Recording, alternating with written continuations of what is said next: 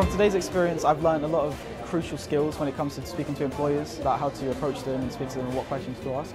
The variety of roles that are out there. You have the opportunities of new product development, you have sales roles, you have training roles. Hospitality, it, it's not just what maybe some people think. It's just vast, it's extreme and it's fabulous. There's just so many opportunities. You could go abroad, you know, you could go international. And I just think if you are starting out, it's important to just try everything.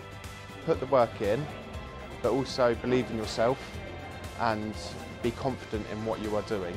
I'm really hoping that the new generation just find the right buzz for it because you can get some real thrills out of the industry. I've enjoyed meeting people, knowing their experiences. I've learned that you could go anywhere and get opportunities out of it. I've learned how to write a CV properly. I've learned different careers that I may potentially want to go into. I've really enjoyed it today.